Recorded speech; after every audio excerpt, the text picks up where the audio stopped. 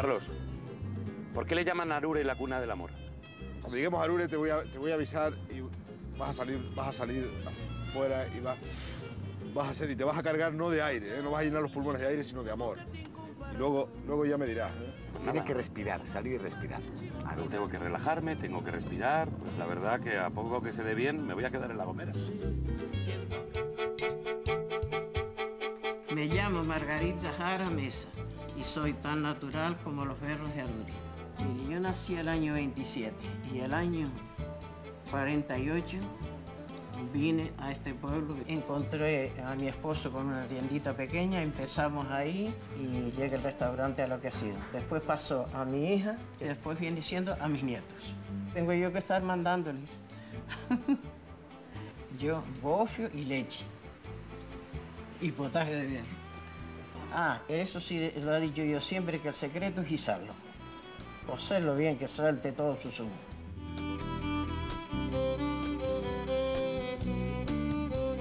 El potaje de berros tiene unas manos que lo hacen especialmente bien en la gomera. Y esas son las manos de Margarita. Cuénteme. Pues vamos a poner el agua. Ahora, aceite en crudo. Sí. En el agua cruda mejor, mire, la cebolla, el maíz tierno, las habichuelas tiernas, judías tiernas judías. o remojadas de la noche antes. Vaso. Pimentón verde, para gusto. Lo mismo es, mm, sirve esto, una costillita. Ahora vamos con el mortero, a majar el mojo. Un poquito de cominos. Salsita. Podemos ir poniendo un poquito de sal aquí también y los ajos. Ahora vamos a picar los berros con los... Este plato se hace con la calma canaria, no se revuelve nada, no se agita nada, se deja que se funda. hombre. Esto es una batatita que se le pone ahora las papas. Y la calabaza la... es buena, entre más verde, más tierna, mejor. ¿De cuánto tiempo tiene que estar ahora en la cocción?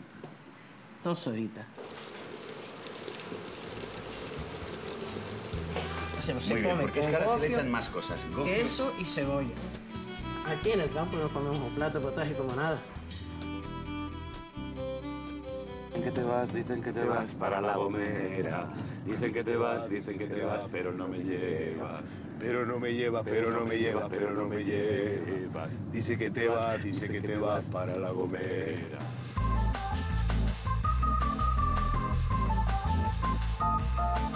Eso es un pez, lo llaman medregal. Es blanco y azul, es un pez de aquí, de, de la zona. O sea, que la tiene, la- que no sé tiene las vitaminas, las condiciones de un blanco y de un azul. Esto es- Sí.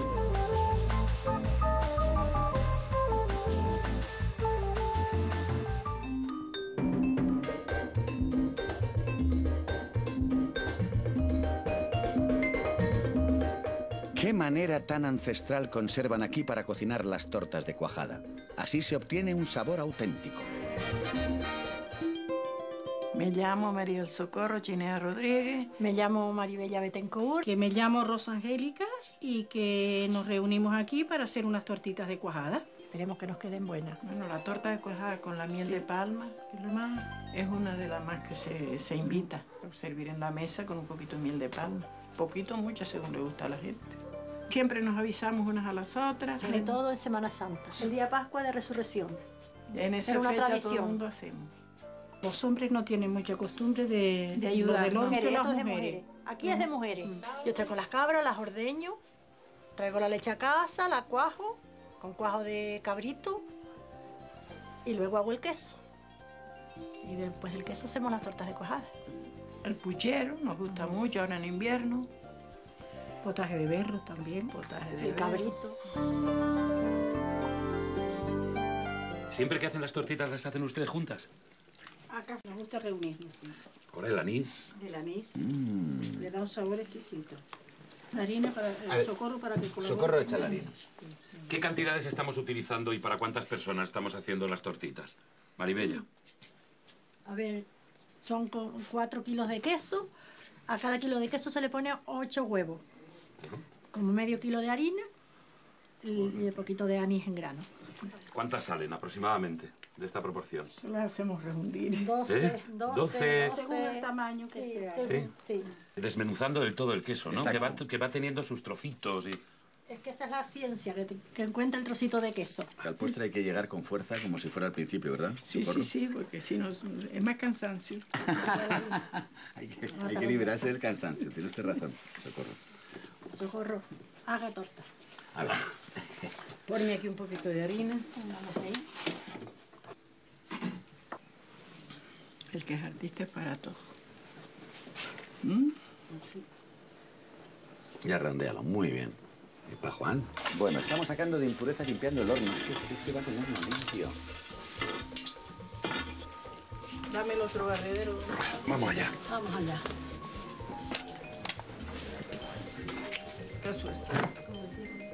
Ahí está. Bueno, ¿y ahora cuánto tiempo tenemos que esperar, Socorro? Bueno, eso depende. Más o menos. Más o menos. ¿Sí? Eh, mirando. Como unos 20 minutos, 30 minutos aproximadamente.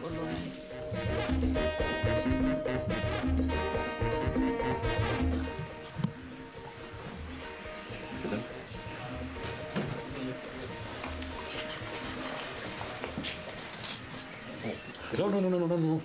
Que nos la vamos a llevar a casa de Figenia. Para la celebración. Este interviche tieso. Venga. Yo te doy un trozo para el camino.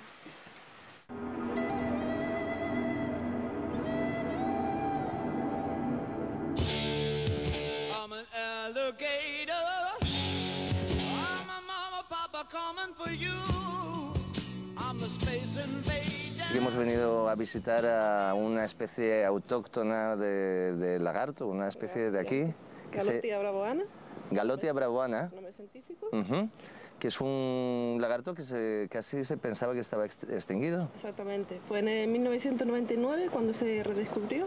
Eh, fue en esta zona concretamente, en, en el Risco de la América. Se colocaron unas trampas y se cogieron cinco ejemplares de, de este animal que se creía extinto hasta el momento. Es prehistórico. Es prehistórico, se puede decir que sí, que lleva muchos años aquí. Se sabe por sus restos fósiles encontrados. Eh, se han encontrado restos de, de ejemplares de una edad de 55, 60 años, con una longitud de un metro veinte. Este es único, ¿no? La variedad es que tiene la, la garganta blanca. Sí, la característica de ellos es la garganta blanca Ajá. y las manchitas azules en los dorsales. Ellos estaban antes de, de Colón, antes que, que vosotros y mucho antes. Por supuesto, ellos, ellos son los primeros colonizadores. Que sepa que hemos venido aquí a apoyarle, a decirle que estamos con, con él, Sí. con, con el lagarto. Sí, queremos. Ay, míralo. Sonríe y habla y todo. Sí, no, Pero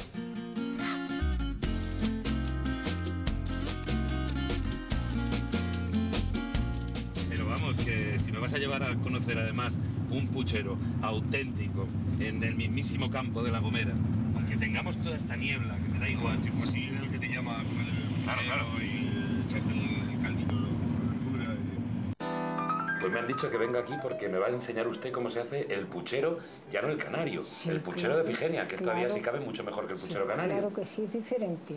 El mío lo hago de, de cosas del campo, cosas frescas, naturales, cogerlo en la huerta y ponerlo en el caldero.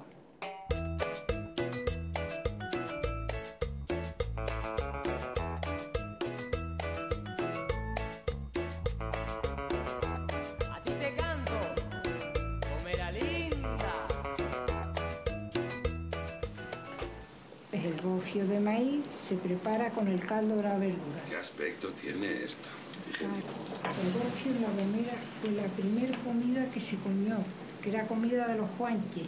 Es mojo rojo. Mojo rojo. Bueno, qué placer.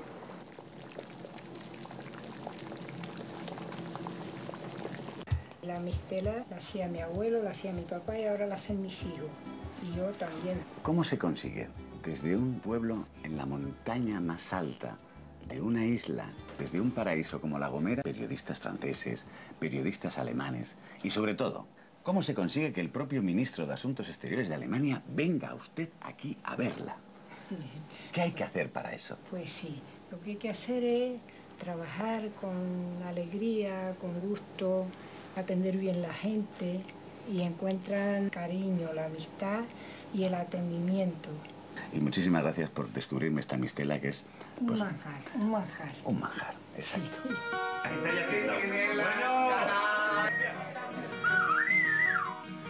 Muchas gracias. Yo vengo aquí, yo vengo aquí, para cantar, para cantar, la rumba de la rumba de... Los gomeros son como el agua, esculpidos con los suaves golpes de una lluvia fina y constante. Los gomeros disfrutan con una conversación pausada, sin controversias. Los gomeros paladean las palabras, el gusto por la compañía y la pasión por lo original de su tierra. También es nuestro orgullo conocer de cerca este pedazo de tierra y más aún si cabe, rodearnos de gomeros tan auténticos como los que hemos conocido aquí.